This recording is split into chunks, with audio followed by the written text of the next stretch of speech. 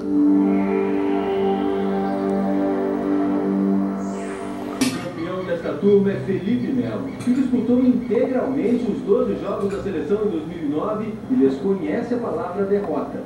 Mesmo que perder seja sempre um aprendizado, eles preferem ficar sem saber o que é isso. A grande vitória sobre a Argentina e a classificação antecipada trouxeram ao torcedor uma justa euforia. Aqui